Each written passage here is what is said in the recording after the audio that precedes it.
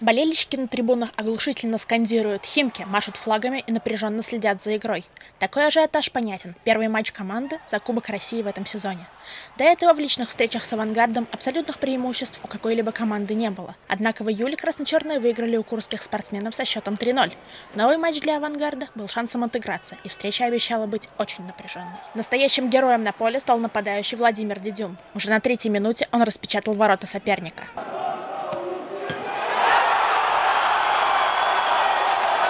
Второй гол тоже его авторство, на седьмой минуте. После этого исход игры был практически предрешен. Авангард не спас даже ответный гол. Уже через минуту после успеха курской команды Богдан Мишуков забил третий мяч, и победа Химок стала очевидна.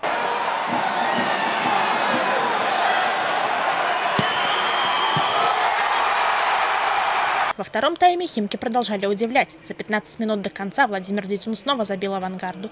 Уже четвертый гол, чем окончательно подорвал боевой дух соперника. Красно-черные выиграли с разгромным счетом 4-1. Победа на домашней арене становится хорошей традицией футбольного клуба «Химки». После матча гордые болельщики поделились с журналистами эмоциями от игры. Равнодушным не остался никто. Высказались как взрослые, так и совсем юные. Третью игру уже играют, и главное, играют хорошо. У них стала атака идти хорошая. Вот на днях ходил на матч «Спартак ЦСКА», сегодня футбол был намного лучше. Наши были сильнее, мощнее и ловчее. Мне очень понравился мяч, матч. Химки сила, болеем за Химок и все. Следующий матч красно-черные сыграют в воскресенье с Ярославским шинником. Игра пройдет на выезде, и команда как никогда нуждается в поддержке болельщиков. Пожелаем удачи клубу. Химки вперед!